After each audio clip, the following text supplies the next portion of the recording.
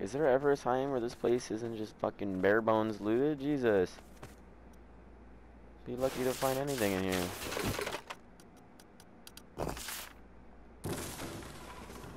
I get like one, maybe two little butt cheek crates, yeah.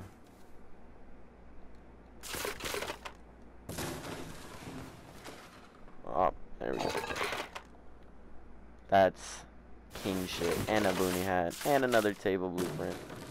Okay, I take back everything I said. And a bear skin rug!